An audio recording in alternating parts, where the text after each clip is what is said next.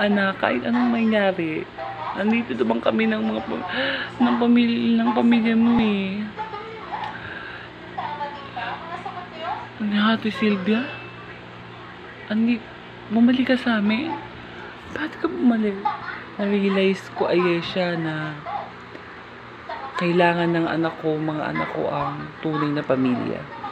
Naisip ko na piliin na lang na ipatawad na lang. Pero yung yung imbis na masaya naramdaman ko, masakit yung nararamdaman ko dahil nawawala yung nawawala yung tao. Pinakamamahal ko. Kasi ngayon hindi ko pa rin nakikita yung ano, hindi ko pa rin nakikita si Aye. Si Rinaldo yung ano ko. Rina. Mahal na mahal ko si Rinaldo. Kahit, kahit ganito yung nararamdaman ko, kahit masakit yung nararamdaman ko, gusto ko pa rin si Rinaldo.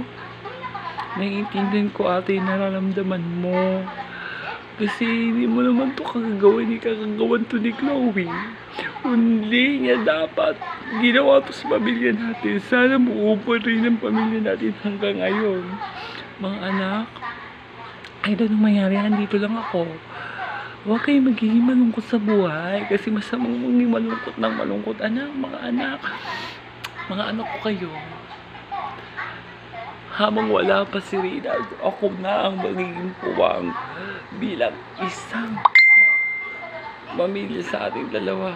Sana maintindihan yung sitwasyon natin ngayon na kailangan din natin mag-adjust para kay Rinaldo habang wala siya. Alam natin na kayo pa rin natin buhayin ng isa't isa kahit wala siya.